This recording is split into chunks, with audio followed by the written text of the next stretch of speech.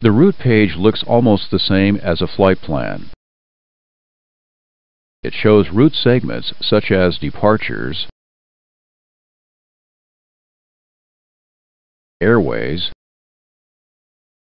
and direct routing. More detailed data is found on other pages.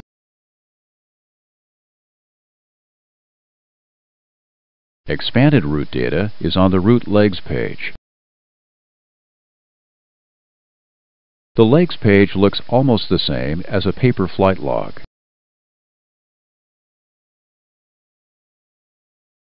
Each waypoint along the route is shown. The legs page also shows leg direction, leg length, waypoint speed, and waypoint altitude.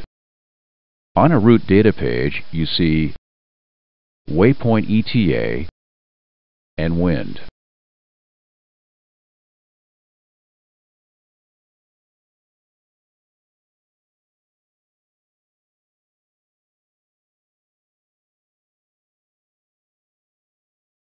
Show the legs page.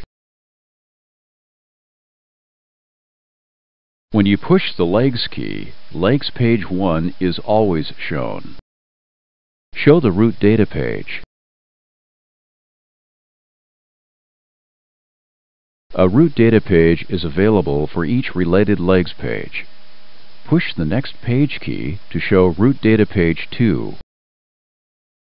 Push the legs prompt to go back to legs page 2.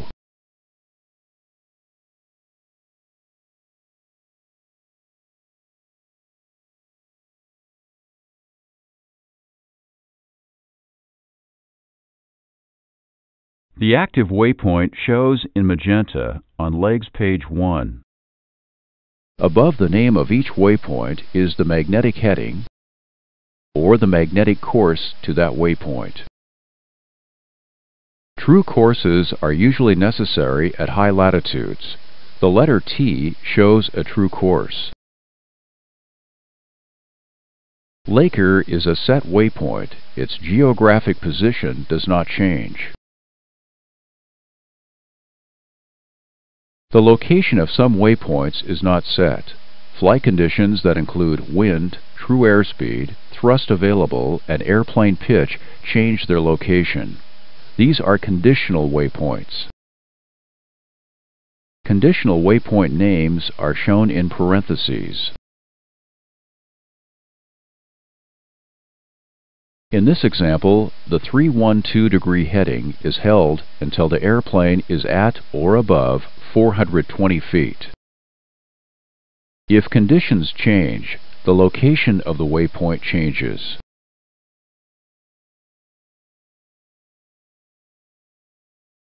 This conditional waypoint is an altitude constraint. Other constraints could be VOR radials, DMEs,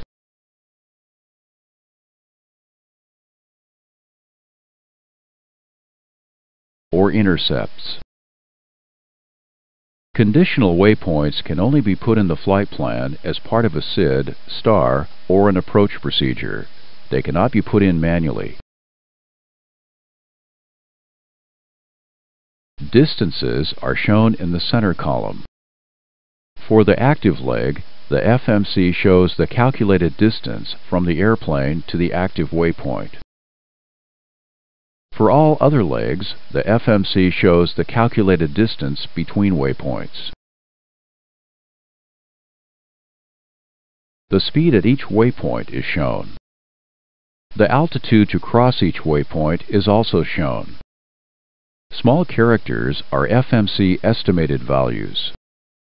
Large characters are constraints. Constraints can be put in by you or by the FMC as part of a procedure.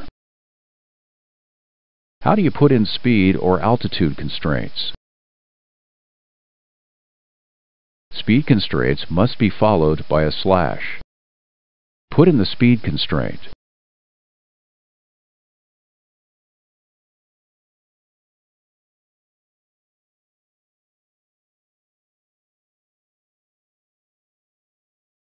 Enter this data into the correct line.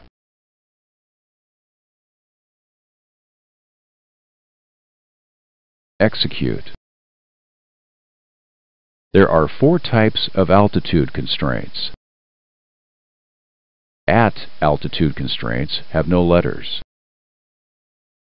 At or above altitude constraints are identified by the letter A. At or below altitude constraints are identified by the letter B. Altitude restrictions between two altitudes use an A with a lower altitude and a B with a higher altitude. These restrictions can only come from the FMC database.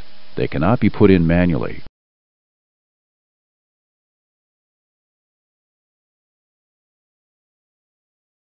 Put in the altitude constraint. The slash is optional for altitude constraints.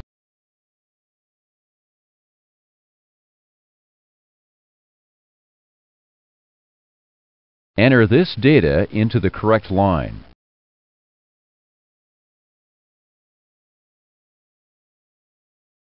Execute.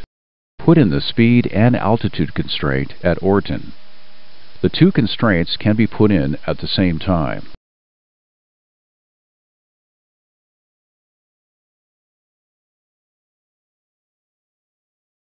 Enter this data into the correct line. Execute. To delete altitude and airspeed constraints, push the Delete key and select the waypoint constraints to be deleted. Delete the airspeed and altitude constraints at Orton. Execute.